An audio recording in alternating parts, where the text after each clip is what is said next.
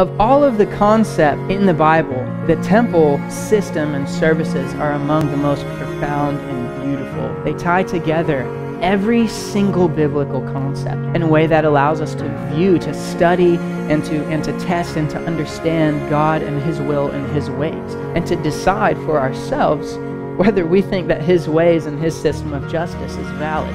The Day of Atonement, the cleansing of the temple, this was the, the most exciting, spectacular, nerve wracking day of the year. If that day is so massive because it's taking care of the record of guilt in the temple here on earth, and that temple here on earth, it's just a fraction, is a copy, is a shadow of the one that exists in heaven. It's minute in comparison to that. So if the Day of Atonement is so huge for that temple here on earth, how huge do you think it is when it's happening on the heavenly scale?